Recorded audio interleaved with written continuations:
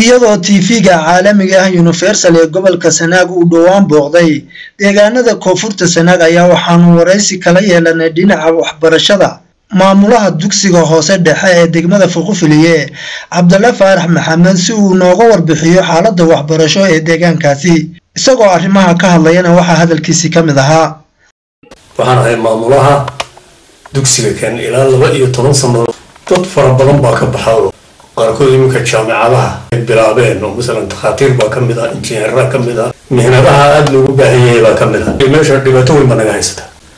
Iskuulku wax habay yaraatee oo wax ka qabtay lama arko. Siduu u egyahay waa aragtaa aada moodaa cariish konton sano ka hor la dhistay waxaa kale oo naga haysta shaqaala xun oo afar macallin baanu ku joognaa. Waardiye male nadiifiso male abaatan badanna waanu gudbinay wax jawaab oo aanu ka helno ma jirto.